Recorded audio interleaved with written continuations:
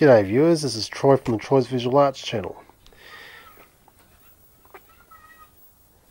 I've just been having a look at this camera. Basically, I was told that there may be some loose connections on the inside because of, which is causing the picture to be inverted on the luminance channel and also for there to be no blue no blue signal coming through. So I actually went and investigated this camera and as it appears the indeed the the cable coming from the blue tube is indeed loose. I've pushed it in and um, yeah I'm now getting a picture however it is indeed a bit loose so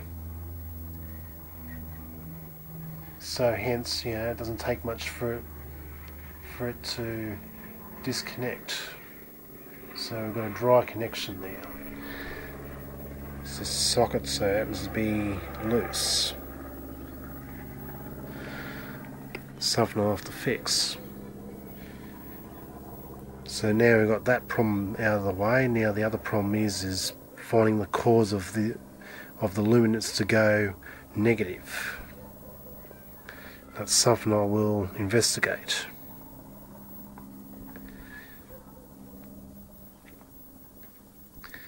Anyway, while I'm at it, I'm now got the camera open, so yeah, here we are. We've got our three Plumbicon tubes in their yokes, strategically positioned with um, a, a prism beam splitter, which will split the beams to each color filter coloured tube.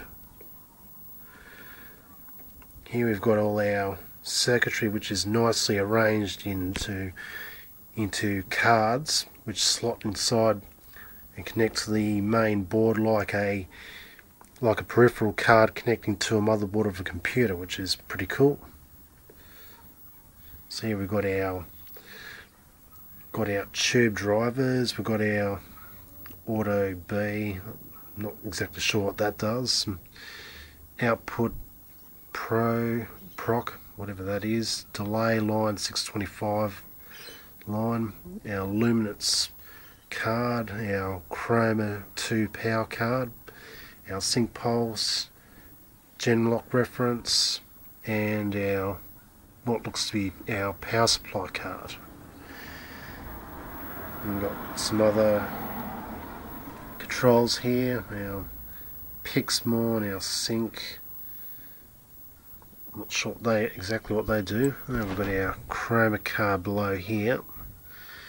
Got our monitor card. We've got our um, switches here for contrast, normal bars, on off, standby, external, local, level.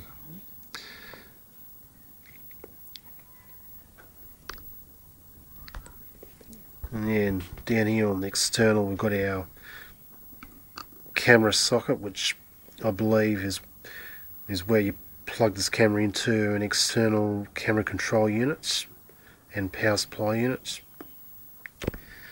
We've got our um, color video out which is what this camera is connected to and we've got our um, VF out which um, outputs a monochrome picture.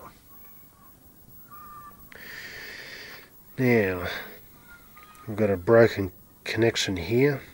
I somewhat believe this must um, connect to the lens control because I cannot electronically control this lens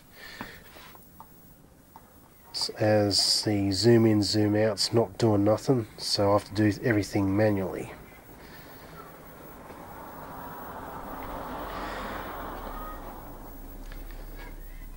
anyways we're making some progress so far. And we're now getting getting a picture of sorts a psychedelic sort of picture with with all three color channels.